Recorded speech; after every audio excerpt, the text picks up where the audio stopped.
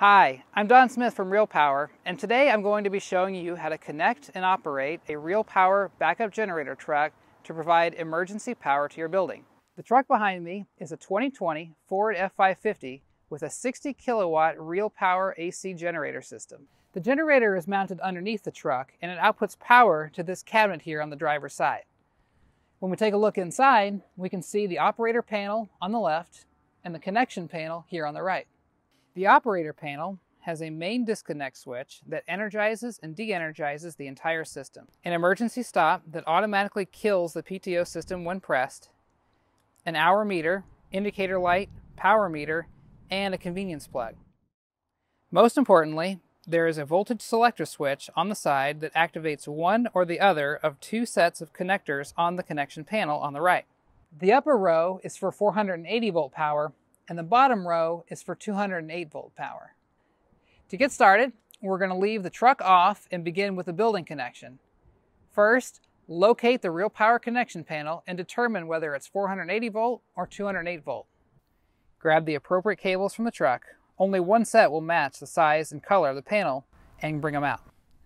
I've laid out as an example this 208 volt 800 amp panel. And the first thing you'll notice is that none of the doors will open except for the green ground pin. This is intentional. It ensures that all of the cables are plugged in in the correct sequence to ensure safe connections. Also note, the cables are one-way directional. The end of this cable is the female connector, and the panel connection is a male inlet. It's going to be the opposite way on the truck side. Lift the green door, push in the connector, and twist. Now the white neutral door can open. Follow by plugging in the white cable and the three phases, black, red, and blue. Back at the truck side, you're going to repeat the same process. Take all five cables and run them through this trap door here.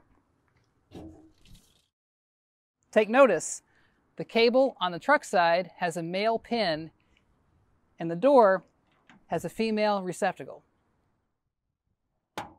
Okay, now that everything's plugged in, it's time to turn on the truck.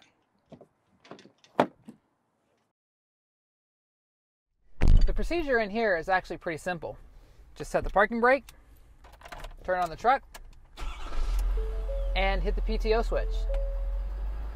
Once you do, the engine will automatically ramp to the correct RPM and the generator has power. This vehicle is also equipped with the Real Power Secure Truck feature, which means once you're started, you can take the key out, leave the truck, and lock the door behind you.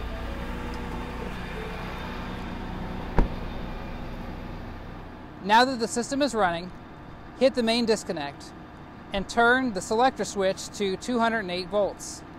Obviously, if you're using 480 volts, you'll set it for 480. With those two levers set, you'll see power at the meter and a green indicator light turn on next to the correct connection panel.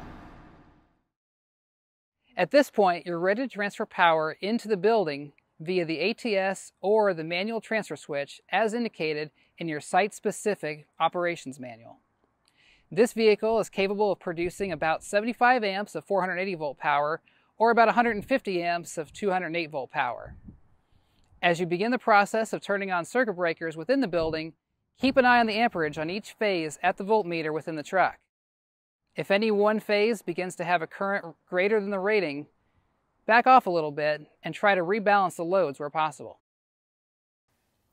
When you're ready to stop, follow the same procedures in reverse. Turn off the main disconnect, shut down the truck, disconnect the cables at the building side from right to left, and then at the truck side from right to left.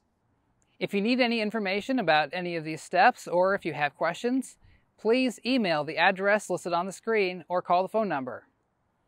I'm Don Smith from Real Power. Thanks for watching.